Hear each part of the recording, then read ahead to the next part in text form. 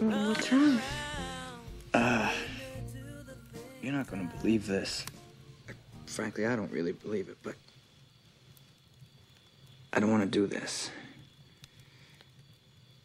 Yeah, I said that out loud, right? You don't want to. Uh, no, no, I do. God, do I? But So? uh, so, for once, Pacey Witter's raging hormones aren't going to do all the talking.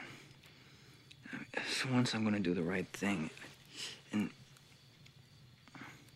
we're not ready for this, Andie. But I might be ready, and Listen, at the risk of sounding like a really cheesy after-school special, when you're really ready, you'll know, and then we'll do this. I mean, then we'll do this till the cows come home. But this thing is way too important for me to just fall back on that old do now, think later, Pacey Witter approach.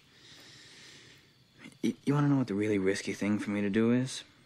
It's to not have sex. I mean, maybe that way I'll have some semblance of a real relationship. So.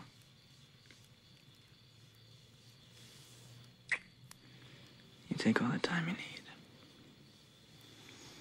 Because I'll be here.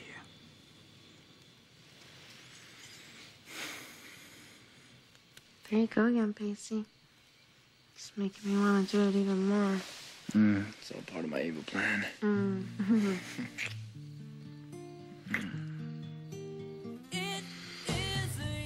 Come on, I'll drive you home.